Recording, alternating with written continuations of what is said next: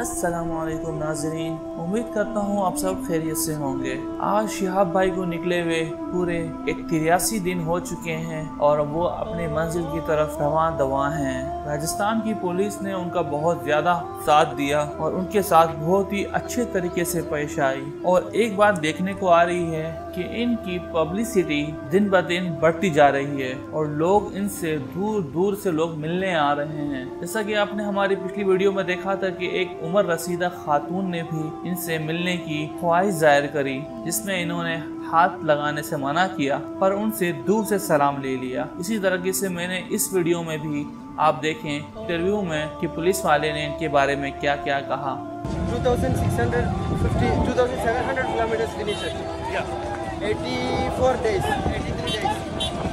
So you want to you want to think that national police and all Indian police doing the hard job for maintenance of the law and order and all.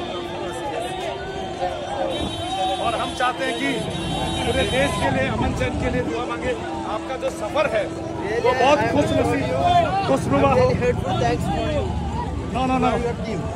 Thanks for you because you are doing the best and good job for the Allah and for the India और पूरा India आप पे फख्र करेगा। जिस दिन आप हिंदुस्तान के लिए दुआ करेंगे अमन चैन के लिए दुआ करेंगे. और हम इन, उस दिन का इंतज़ार कर रहे हैं। हम भी सोचेंगे जिस दिन आप मक्का और मदीना पहुँचेंगे।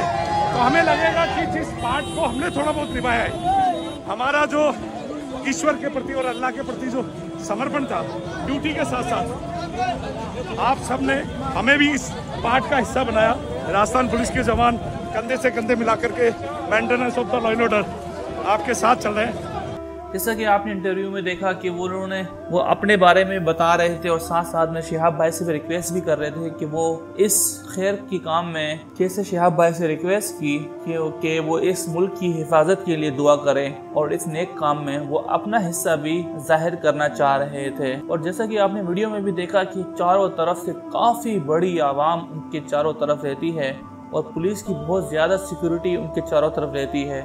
इस बात पर शिहाब भाई ने भी उनकी तारीफ़ की कि आज मुझे निकले हुए तिरासी दिन हो चुके हैं और पुलिस का, और पुलिस की सिक्योरिटी देख के उन्हें बहुत ज़्यादा खुशी महसूस होती है कि अगर ये पुलिस ना होती तो उनके लिए सफ़र तय करना नामुमकिन होता। हमारी यही दुआ है कि शिहाब भाई अपने सफ़र में खैरियत और आफियत के साथ हज को पहुँचे।